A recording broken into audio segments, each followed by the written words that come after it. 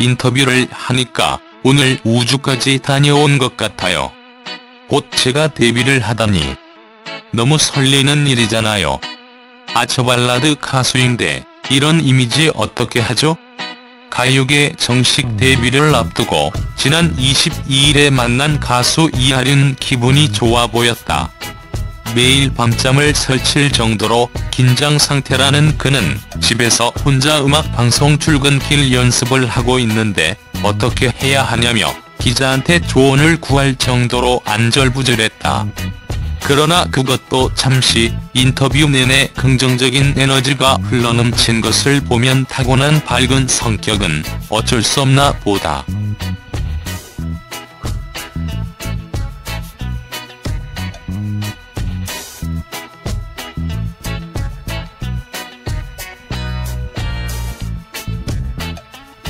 (24일이) 제가 데뷔하는 날입니다.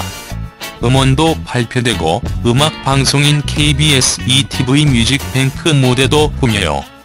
저를 도와주신 모든 분들께 감사드리고 하루하루가 행복해요. 한편으로는 실망하게 만들면 안 된다는 부담감도 있죠. 사실 뮤직뱅크 출근길이 처음으로 제가 언론에 노출되는 자리라 연습하고 있어요. 이름표를 붙일까요? 아니면 제 이름을 편말로 만들어 갈까요?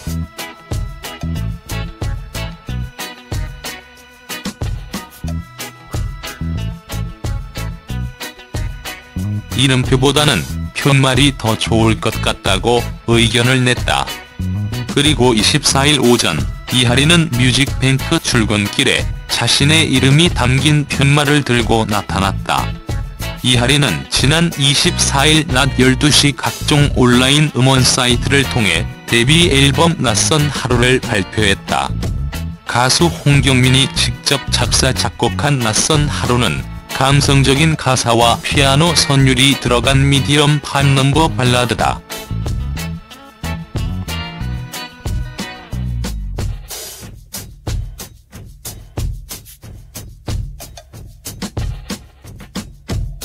사랑하는 남자에게 이별을 통보받은 다음날 사랑하는 사람을 잊는 이별에 대한 정해진 방법이라도 있었으면 좋겠다고 말하는 내용의 가사는 헤어진 지 하루가 지난 여자의 아픈 심정을 잘 그려냈다.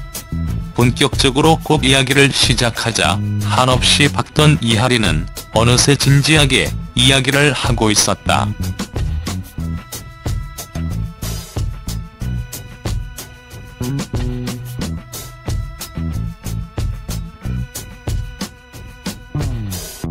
낯선 하루는 이별이라는 순간을 맞이하는 여자의 감정을 잘 표현한 노래입니다.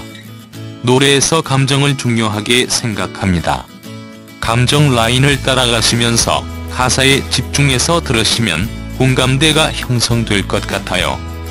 어려서부터 가수의 꿈을 키웠다는 그는 중학교 들어가면서부터 기획사의 연습생으로 들어갔다. 그러나 연습생 생활을 하면 할수록 고민만 늘어났다고 털어놨다.